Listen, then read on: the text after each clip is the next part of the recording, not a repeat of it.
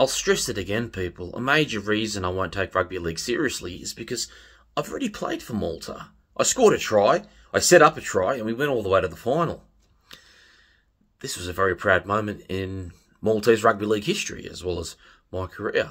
And there is no higher uh, level I can play rugby league. Malta always being the highest. So you've got to understand that aspect and that I know that I'm a good football player and that I can rip people apart. I've been doing it my entire career. So being in my somewhat still early 30s, but I would say early mid 30s, uh, um, I'm content with that. I'm more than content with that. I'd never played rugby league for money. I played it since a little kid because I loved it and still do. So for me, not taking rugby league seriously for a bunch of white dogs is the ultimate spit in their face and a way of undermining what they think is their mandate to influence in this country. It's a complete reduction of who they think they are. It's a complete humiliation and embarrassment, and it therefore says to all other persons of a non-white background that you don't have to take these sons of dogs and prostitutes seriously. That's my message. That's why I always opt for that option over the money. I rather, I can take the money. I can do the easy, whatever, million, two million, three million in the long run and do things more so before, not so much now, but I could do all that. But to what, to what avail? And then I'd have what to look forward to? That I just copied every other Muppet, have money coming out of my ass, and that's it? Life's boring, there's no challenge? Fucking whoop-de-doo. What I've done is a thousand times more spectacular than that. Fuck. With the help of some good people, and also Ralph, we ended extremism in this country. And now you've got cunts from Asia, white clowns, who sort of want to bring it back out so they can take some credit for something they never did. That's how they are. They love credit, these white clowns. Uh, they used to award themselves falsely in World War II for things they didn't do. We saw the British do it. Fuck, it was hilarious. Uh, nothing's changed with this bunch of Muppets. So that's my key takeaway that the idea is to undermine their authority because they have none. As white persons, they have no right to ask of any other person from any other community to say, this is what we want you to do as Australians. In other words, they're not who they claim they are, Australians. They're sons of white, wretched fucking dogs and whores and they do not get what they want. And with me, they never did. That's why you've got to understand. They kept on persisting. That's why they're invested in it because I, I've made this known to them since a fucking 15 year old. They didn't want me to go to a Catholic church. They wanted me to. Uh, this is about 20 years old, mind you. Years ago, they wanted me to go to that fucking thing, dance party slash church that you jump up and down. What's the? I always forget the name. Uh, fuck. Um, where Jarryd Hayne went. Hillsong, Hillsong. takes me a while. They wanted me to go to Hillsong. They gave me a number. They gave me fucking details. Yeah, they they they're expecting you, and I'm like, yeah, no, I'm, I'm a Roman Catholic. And they were devastated, always getting backhanded. And they were trying. They would they would try day after day, week after week, to apply social pressure, uh, to apply relationship pressure, to apply occupational pressure. Weird shit was happening from left, right, and centre.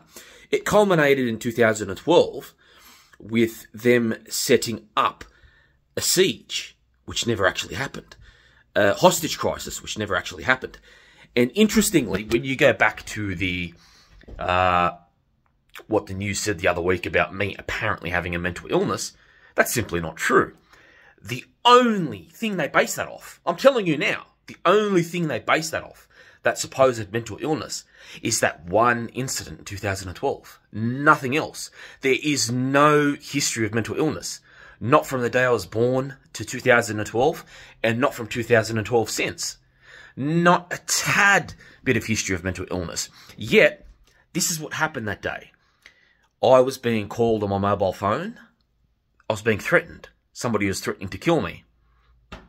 Me being me, I laughed. So I took the uh, bow and arrow.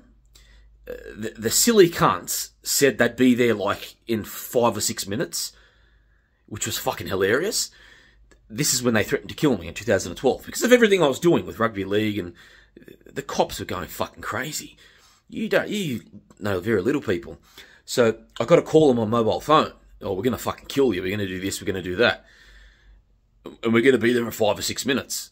And who gets there in five or six minutes? My mother and my sister.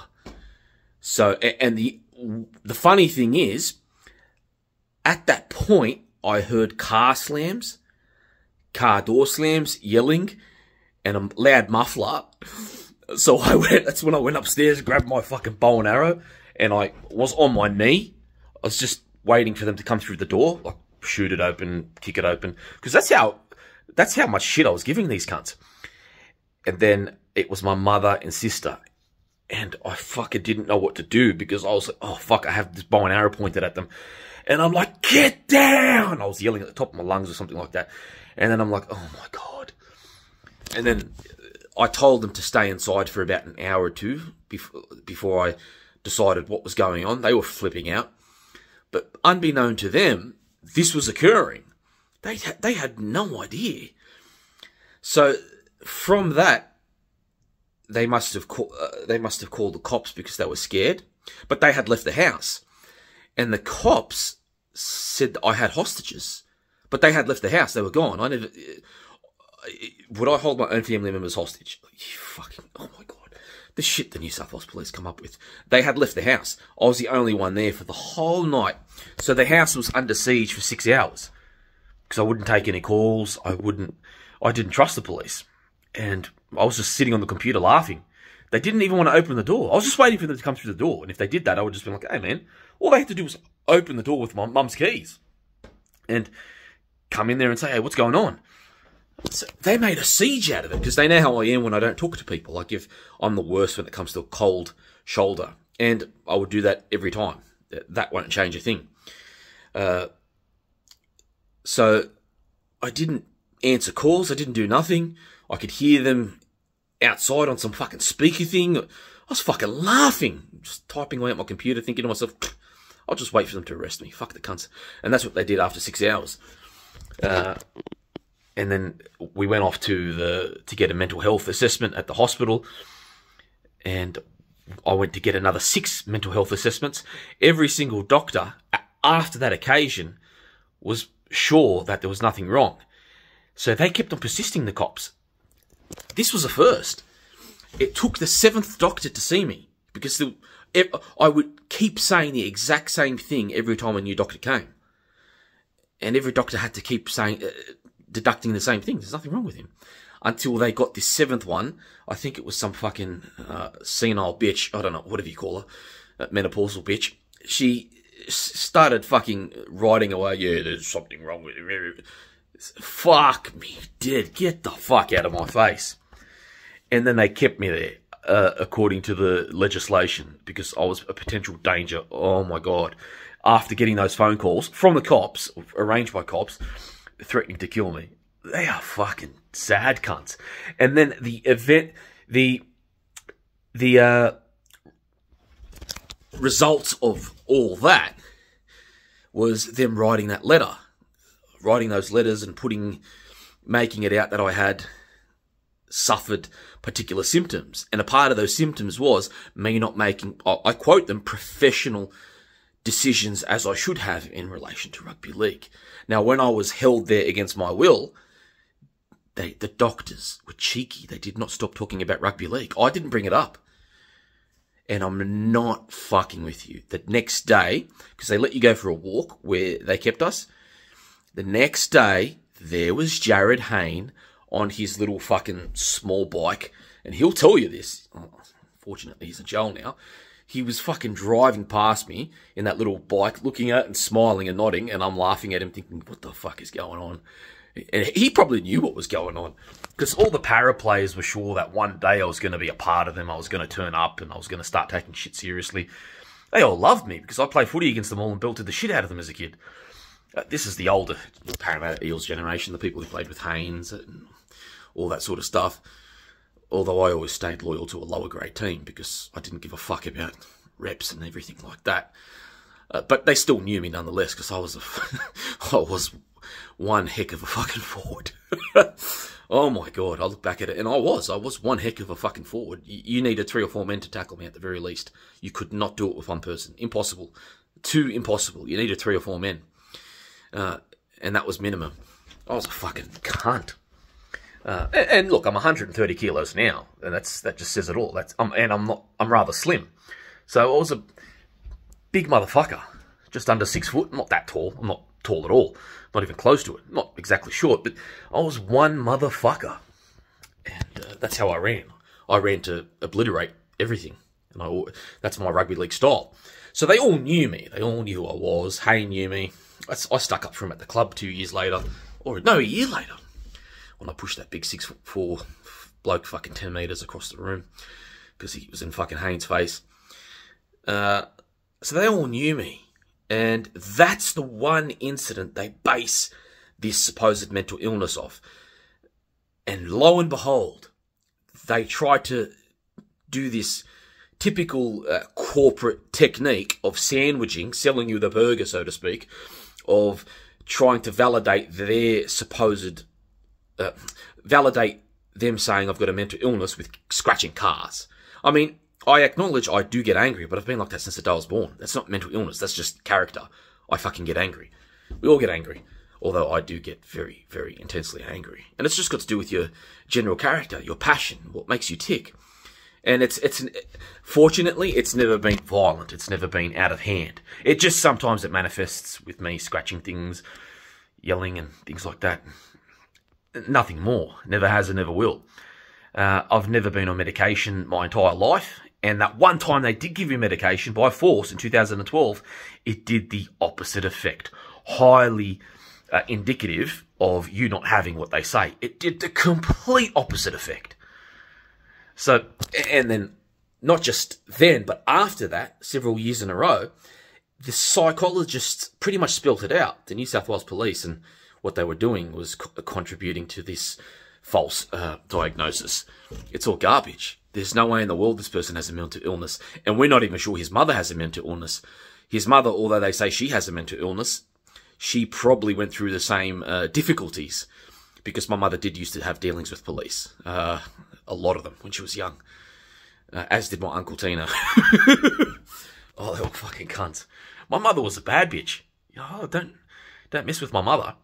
So, but yeah, my mother does not have a mental illness. None of us do.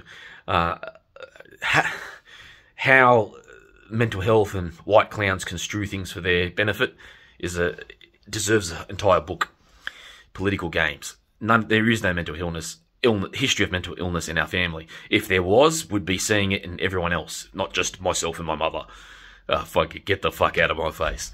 They pick because my mother was a single mother. They like to pick on that because uh, cops being crooked can uh, get their way with people. Mind you, when I was a kid, cops used to pick us up, take us places, drop us off in their wagon when I was a child.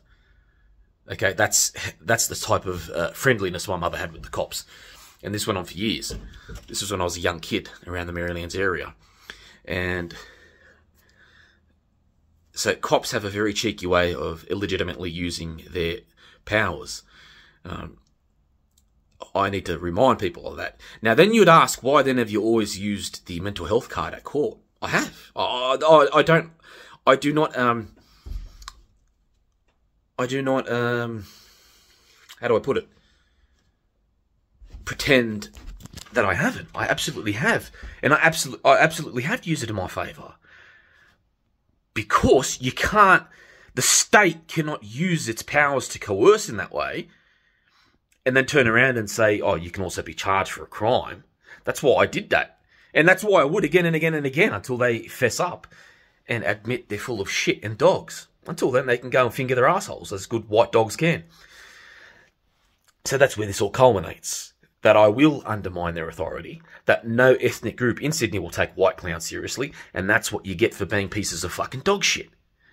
That's my ultimate revenge. And talking about the Cauchi family, on our Cauchi coat of arms, because I am a Cauchi, the god Neptune is on there, and I think his wife is the goddess Nemesis.